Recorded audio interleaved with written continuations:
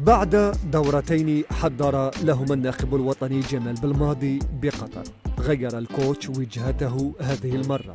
إلى الطوق دولة إفريقية غير بعيدة عن مكان الحدث بكوديفوار درجة حرارة تتراوح بين 30 و 33 بالعاصمة لومي. سترافق الخضر خلال تواجدهم في هذا التربص. مع رطوبة عالية تصل إلى 86% في المساء. وبخصوص الإقامة اختار المنتخب فندق الثاني فبراير المصنف خمس نجوم والأفخم بالعاصمة لومي.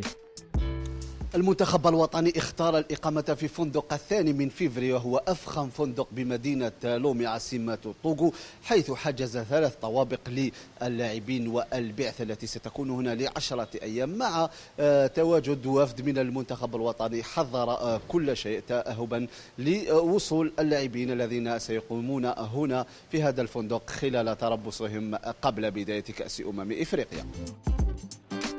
المنتخب سيتدرب طيلة تواجده بملعب كيجينو الأرضية الجميلة هو التي سيخوض عليها رفقاء محرز الثماني حصص تدريبية المقررة خلال تربص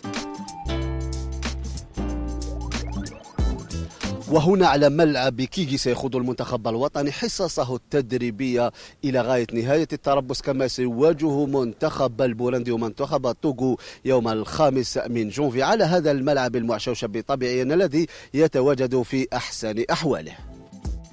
من مدينة لومي انطلق المنتخب سنة 2018 وحقق سلسلة ال 35 لقاء دون هزيمة ومن لومي سينطلق الخضر من جديد. في مهمة تعليق النجمة الثانية. تأدية مشوار كبير في كأس أمم إفريقيا. مفتاحه هو تربص الناجح هنا بالعاصمة الطوغولية لومي. كما المهوي تلفزيون النهار لومي الطوغو.